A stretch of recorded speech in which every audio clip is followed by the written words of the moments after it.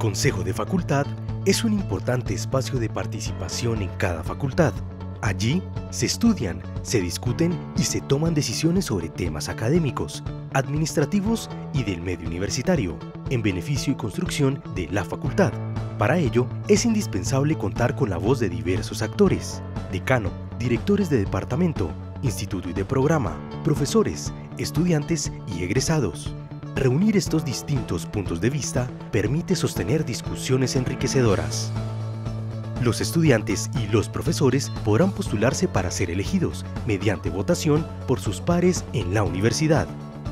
Los egresados, por su parte, podrán postularse y ser escogidos al interior de cada facultad. Si estás interesado en postularte como profesor o estudiante, deberás comunicárselo al decano de tu facultad entre el 27 de agosto y el 13 de septiembre.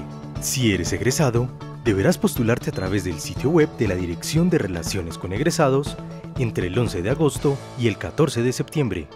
Una vez se publique la lista oficial de los estudiantes y profesores postulados, podrás votar por tu candidato a través de Javemóvil o por intranet.javeriana.edu.co del 5 al 12 de octubre.